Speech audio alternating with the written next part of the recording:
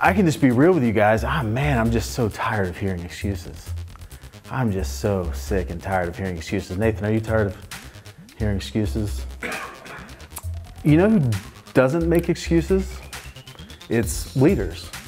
Leaders, leaders don't make excuses. And so that's how I kind of want to set up my talk today is to talk to you guys about leadership because if you become a better leader, it'll choke out all of your excuses.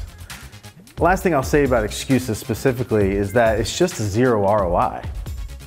There's no return on an investment of an excuse, period. I'll take it a step further and say that it's also the quickest tell of a non-winner.